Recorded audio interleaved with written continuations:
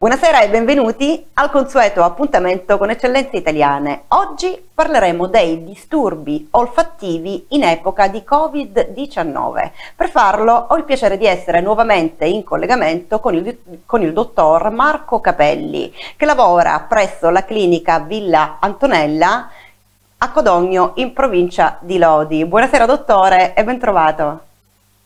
Buonasera a voi e a tutti i telespettatori. Dottor Capelli, quindi ci occuperemo dei disturbi olfattivi in tempo di Covid-19. Quindi mi chiedo, dottore, quali sono gli effetti che può determinare il coronavirus sull'organo olfatto e in quale modo lo fa? Sì, eh, allora innanzitutto eh, precisiamo che ci sono tanti tipi di coronavirus. Noi parliamo del SARS-CoV-2, quindi uh -huh. dell'ultimo coronavirus noto.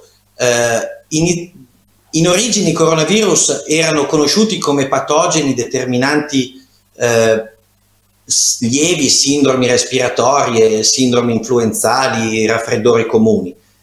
A partire dall'inizio del, del, terzo millennio, quindi dal, dagli anni 2000, si sono sviluppati dei coronavirus molto più aggressivi e che hanno determinato delle epidemie con eh, elevata mortalità. Eh, la SARS in Cina nel 2002, poi la MERS nel 2012 nel Medio Oriente e poi eh, nel 2019-2020 il SARS-CoV-2 che è il virus di cui parliamo noi che ha determinato la ben nota eh, pandemia.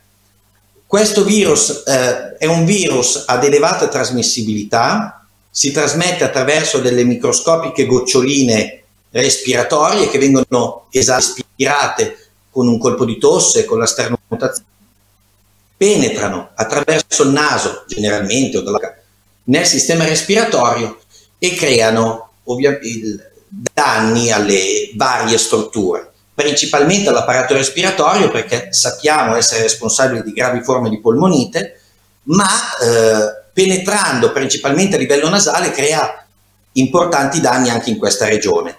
Quando il virus raggiunge diciamo, la parte alta del naso, chiamata fessura olfattoria, eh, ovvero la zona dove ha sede l'organo dell'olfatto, il, eh, il, virus si lega attraverso una proteina chiamata S ad un recettore di cui è presente in grande abbondanza in queste, nei neuroni olfattivi, che è l'AC2, legandosi al recettore penetra nei neuroni e ne determina il, il danno.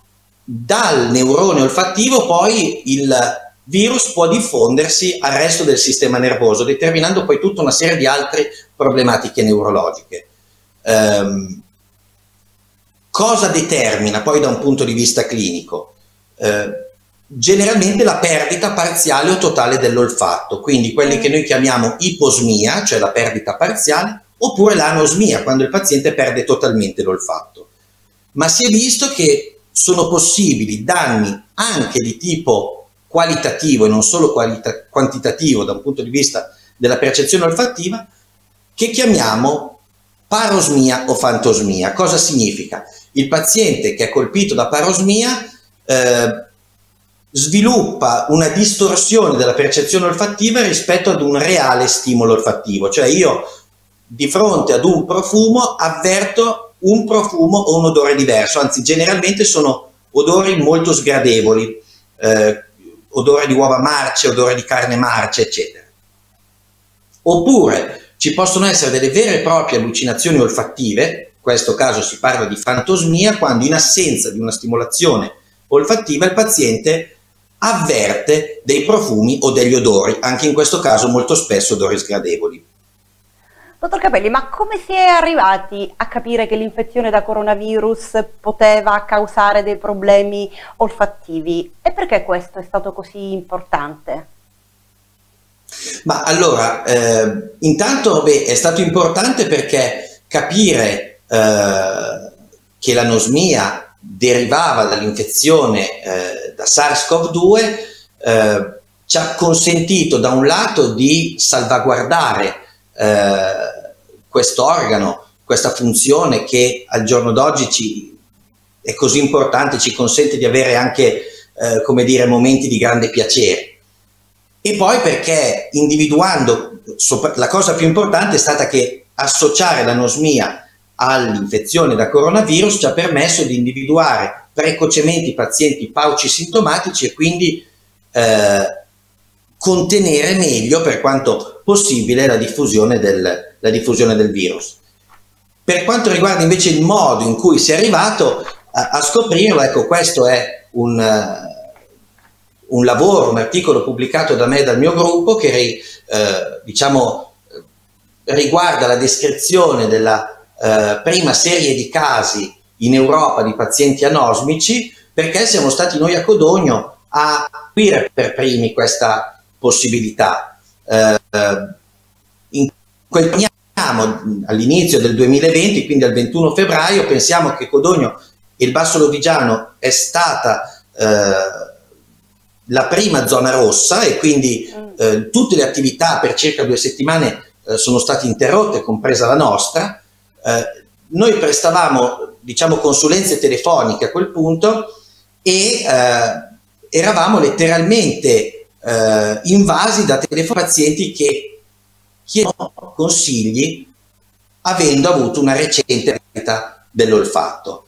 Allora, quando i numeri sono cominciati ad essere importanti, abbiamo pensato che potesse esserci un'associazione, essendo noi nel primo focolaio europeo, quindi eh, un'associazione tra l'infezione e questa perdita dell'olfatto. Ma attenzione, allora non era nota questa cosa, perché eh, nella fase iniziale dell'epidemia in Cina, eh, non era stata ipotizzata questa associazione tra l'anosmia e l'infezione da coronavirus e infatti i pazienti cosiddetti a rischio erano considerati quelli con febbre, con tosse, con dispnea, con stanchezza, ma non quelli con perdita olfattiva. Allora noi vedendo questo incredibile aumento di casi siamo andati a spulciare dai nostri database eh, i dati relativi agli anni precedenti e abbiamo scoperto che nel 2018 e 2019 l'incidenza dei pazienti anosmici si attestava intorno al 3%, tra il 2,5 e il 3,5% in entrambi gli anni.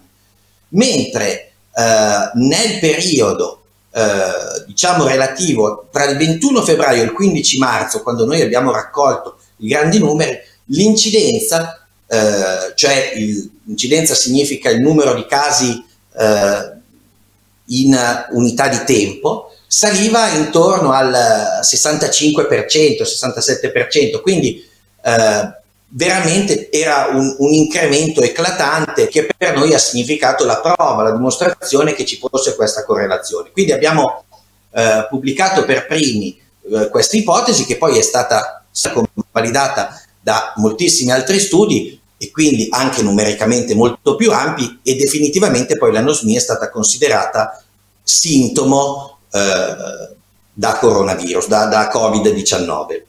Eh sì, sì, poi lo è stato, dottore. Intanto complimenti quindi per questa brillante intu intuizione sia da parte sua che da parte di tutto il suo gruppo. Ma per chiarire ai nostri telespettatori, dottor Capelli, come evolve nel tempo la condizione di un paziente che è colpito appunto da deficit olfattivo? Ecco, allora, questa è una cosa, sicuramente un aspetto molto importante. Allora, eh, partiamo sempre dai dati di letteratura. Eh, mediamente eh, in letteratura abbiamo studi che riflettono periodi osservazionali di qualche settimana, di massimo due mesi, cioè eh, significa che vengono eh, osservati pazienti colpiti da disturbo olfattivo e si fotografano due mesi insorgenza dei sintomi per vedere come è andata. In letteratura questi studi ci dicono che recupera totalmente o parzialmente, quindi migliora complessivamente l'80% delle persone. Mm. Noi siamo stati i primi eh, e in questo momento gli unici a mh, mm, descrivere l'andamento a otto mesi di distanza, quindi su un periodo osservazionale molto più lungo. E abbiamo scoperto delle cose interessanti. Innanzitutto nella nostra casistica la percentuale di soggetti che migliora è superiore 90% all'80%. Questo significa che più trascorre il tempo, più c'è speranza di recuperare. Abbiamo visto che circa il 53% recupera totalmente, il 38% recupera parzialmente. Abbiamo poi eh, valutato l'andamento dell'anosmia nei soggetti eh, distinguendoli per genere, quindi maschi, femmine e anche per fasce d'età.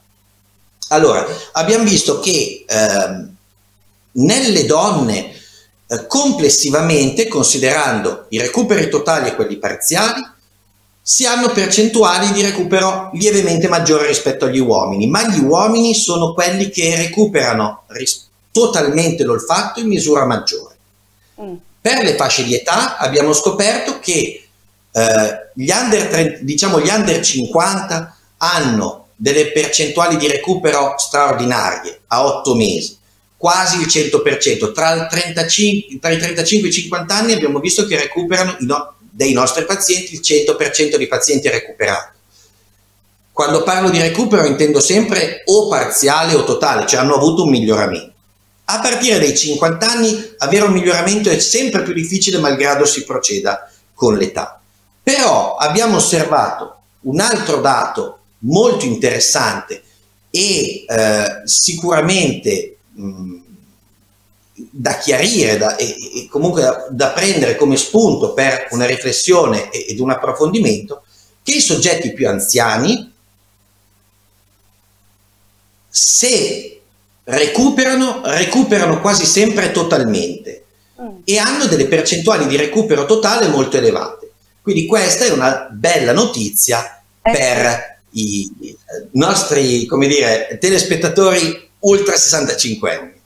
Esatto, esatto, dottore. Quindi abbiamo visto come se un anziano recupera, di solito recupera del tutto, è che la maggior parte comunque di quelli che hanno avuto questo problema riescono a recuperare nel sì. tempo. Dottore, sì. ma esiste una cura per quelli che ancora non hanno recuperato e che sperano di recuperare?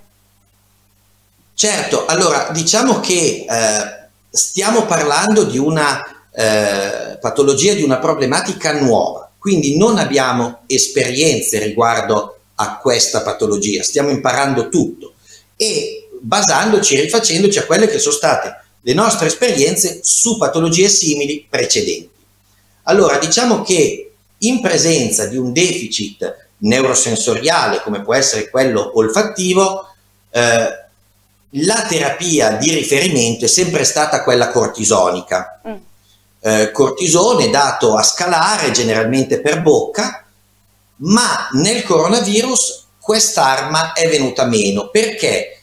Generalmente l'anosmia o l'iposmia colpisce il soggetto nella fase iniziale, ehm, quando l'utilizzo di cortisone è, non è raccomandato perché nella fase iniziale dell'infezione sembrerebbe che il cortisone possa, eh, come dire, favorire uno, un peggioramento globale delle condizioni del paziente. Quindi viene utilizzato nelle fasi più avanzate, ma non nelle fasi iniziali. Ecco allora che quest'arma viene meno. Possiamo in certi casi utilizzare i cortisonici topici, cioè spray, in forma di spray nasale, ma il loro utilizzo è raccomandato se il paziente presenta una patologia nasale cronica già in trattamento con questo tipo di molecola. Poi abbiamo, eh, stiamo valutando l'efficacia delle, delle terapie con integratore, ad esempio con vitamine, e sembra che la vitamina A possa dare qualche risultato.